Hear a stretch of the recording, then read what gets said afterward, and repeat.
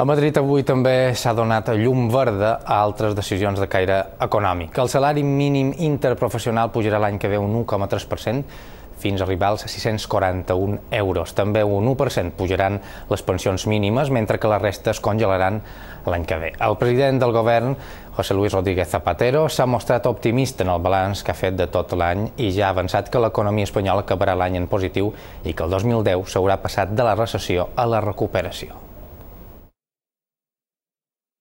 De este año 2010 la economía española no ha tenido ninguno en signo negativo. Por tanto, el Gobierno considera que también el cuarto trimestre va a tener una evolución, el crecimiento positivo.